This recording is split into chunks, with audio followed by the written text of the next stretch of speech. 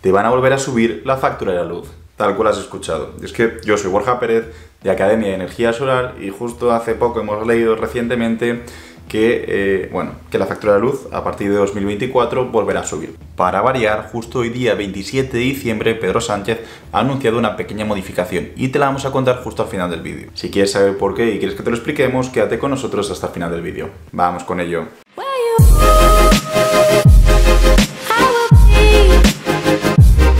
Pues bien, lo que te comentábamos al inicio del vídeo es una noticia totalmente cierta y bastante pesimista. Y es que, según hemos podido ir leyendo, una de las primeras medidas que se adoptará para 2024 es la recuperación del IVA eh, normal y del impuesto a la electricidad para la factura eléctrica.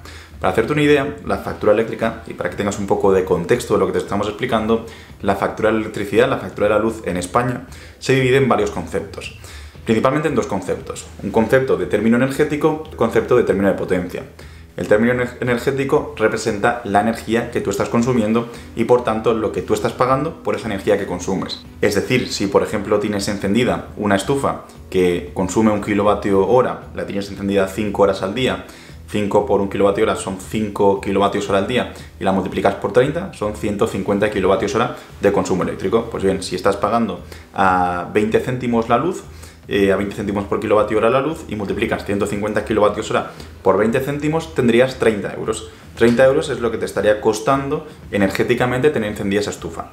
Pero ¿qué ocurre? Como comentábamos justo hace un momento, hay varios términos. Está el término energético, pero luego también está el término de potencia. Y el término de potencia es lo que estás pagando por la potencia que tienes contratado. Muy posiblemente tengas contratado 3, 4, 5 kilovatios en tu casa. De forma que tú por tener disponible esa potencia en cualquier momento, estás pagando X dinero. Seguramente serán 10, 15, 20 euros adicionales a lo que ya pagas por consumo eléctrico. Con lo cual, estamos en un punto que tu factura eléctrica se compone de lo que pagas por lo que consumes, que eso es totalmente lógico, pero es que luego también pagas por tener disponibilidad de utilizar cierta potencia, que puede tener cierta lógica, pero creo que no es beneficioso, creo que se debería eliminar. Con lo cual, tú tienes una factura eléctrica compuesta por término energético y término de potencia. Y luego a partir de aquí ya vienen los impuestos. ¿Qué ocurre? Que entre esos impuestos tenemos dos principalmente. Tenemos el impuesto eléctrico y tenemos el impuesto del IVA, el impuesto sobre valor, añadido. ¿Qué ocurre? Que el impuesto eléctrico normalmente siempre han sido 5,11% y luego el IVA siempre ha sido un 21%.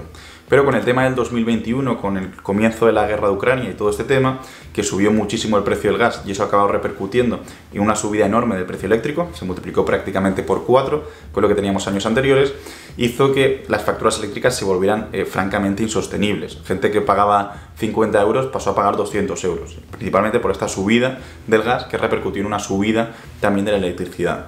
Un poco como medida paliatoria eh, se optó por reducir el impuesto eléctrico del 5,11%, reducirlo al 0,5%. Es lo que sea el impuesto eléctrico reducido. Y el IVA del 21% se redujo al 10% y luego por potencias inferiores a 10 kilovatios se podía reducir incluso al 5%. Con lo cual tenías ahí una reducción significativa en lo que pagabas por impuestos en tu factura de luz. ¿Qué ocurre? Anunciado que para 2024 estos impuestos van a volver a ser los de, los de siempre. Es decir, vas a estar pagando primero un 5,11% de la suma de lo que ya estás pagando por electricidad más lo que estás pagando por potencia. A eso le tienes que añadir el impuesto eléctrico del 5,11% que se va a restaurar a partir de 2024 y luego a la suma de todo eso tienes que sumarle adicionalmente el impuesto del 21%, que ya es una auténtica locura. O sea, es decir, vas a estar pagando tu factura de la luz, vas a pagar más por impuestos y por términos eh, distintos a por lo que realmente estás consumiendo energéticamente. Y para que te hagas una idea, por ponerte un ejemplo, Ponle que tienes una factura de la luz, un consumo eléctrico de 400 kilovatios hora y que estás pagando a 15 céntimos. 400 kilovatios hora por 15 céntimos eh, por kilovatio hora serían 60 euros que tú estarías pagando por término eléctrico o término energético en tu factura de luz. Vamos a ponerle que tienes contratado 4 kilovatios o 5 kilovatios y eso acaba repercutiendo en un término de potencia de 20 euros. Con lo cual, tu factura eléctrica ya está compuesta por 40 euros de electricidad más 20 euros de potencia, 80 euros. Ahora bien, voy a coger el móvil para coger la calculadora. A esos 80 euros le tienes que añadir el término de impuesto eléctrico, que es un 5,11%. Eso representan 4 euros más, con lo cual ahí estarías pagando 84 euros. A eso tienes que añadirle también el alquiler del contador eléctrico, ponerle 1 o 2 euros más adicionales. Ya estaríamos en 86 euros. Y a esto hay que sumarle el 21% de IVA, con lo cual los 86 euros multiplicados por 1,21, estoy aquí con la, con la calculadora, tendrías 104 euros. Con lo cual, aquí está lo representativo, que para una factura eléctrica donde tu consumo energético está siendo de únicamente 50, 60 euros, estás acabando pagando 105 euros. Y esto es lo preocupante. Y además, estos 105 euros son un incremento de prácticamente 20-25 euros con respecto a lo que pagabas anteriormente, justo, o lo que estás pagando justo ahora. Pues bien, que sepas que a partir de 2024 este impuesto va a volver a retomar su valor habitual, que es una auténtica locura, que te estén cobrando un 21% de IVA por la electricidad, más además del 5% que ya te cobran por el impuesto eléctrico, y eso va a repercutir en que muy posiblemente la factura de luz de tu vivienda se vea penalizada a partir de 2024. Aquí sí que es cierto, nosotros recomendamos eh, tomar medidas para hacer una reducción de esa factura eléctrica. Entre las medidas que nosotros normalmente recomendamos están las siguientes. Medidas que vayan destinadas a reducir el término energético, a reducir la electricidad que consumes, y esto pasa principalmente por optar por electrodomésticos de mejor calidad, con menor consumo energético, tratar de buscar los momentos del día donde la electricidad está más barato, buscar tarifas eléctricas que se adecúen con tu perfil de carga y te permitan adecuar esos momentos de mayor consumo con momentos de electricidad más baja, más reducida. Luego también optar por tecnologías que te permitan suministrar tu propia electricidad, como puede ser el autoconsumo fotovoltaico, que es algo que hablamos mucho en el canal, sería una muy buena solución para reducir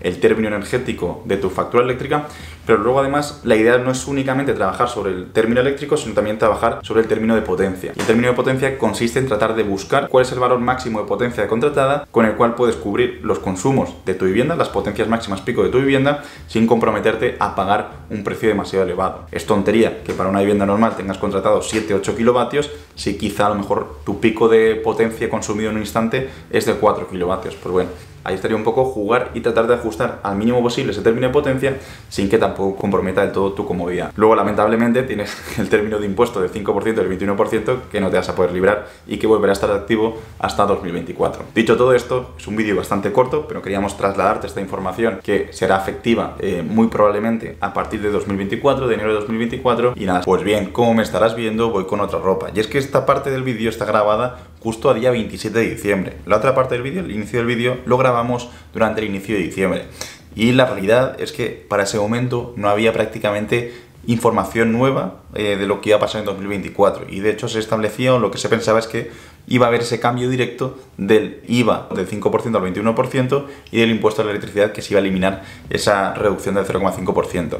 Sin embargo, va a seguir siendo así, pero de forma progresiva. Y es que a día hoy, 27 de diciembre, esto estará publicado lo que es mañana, para vosotros hoy, el 28 de diciembre, pero a día 27 de diciembre Pedro Sánchez ha salido anunciando unas medidas de aumento progresivo, de forma que durante el 2024 el IVA pasará del 5 al 10% y luego ya a partir de 2025 volveremos al 21%, con lo cual seguirá siendo una subida pero un poco más progresiva y en cuanto al impuesto eléctrico, pasará del 0,5% actualmente al 2,5% durante el primer trimestre y luego a partir de ahí durante el resto del año un 3,8%. Y luego también otro cambio se producirá en el valor de producción de energía, o también llamado IVEE, e, que tendrá un tipo de interés de un 3,5% hasta marzo y luego un 5,25% de forma posterior. De esta manera o de esta forma se va a cumplir lo que comentábamos al inicio del vídeo, durante todo el vídeo, pero será de forma progresiva entre 2024 y 2025. Nada, dicho esto, te dejo continuar con el vídeo. Si te ha gustado el vídeo, dale un buen like, también déjanos tu opinión aquí abajo en los comentarios. ¿Cuál crees que debería ser el impuesto eléctrico y el IVA a la electricidad? Si crees que debería haber alguno, y en el caso de que creas que debería haber alguno, ¿qué porcentaje? Si es únicamente un 1%, con un 5% sería eh, suficiente, es un bien de primera necesidad, con lo cual debería ser un 4%. Déjanos tú cuál es tu opinión justo aquí abajo en los comentarios, te leeremos. También que haya un poco un debate sano entre ver vuestras propuestas y opiniones a este respecto. Dicho todo esto, nos despedimos por aquí y nos vemos en el próximo vídeo.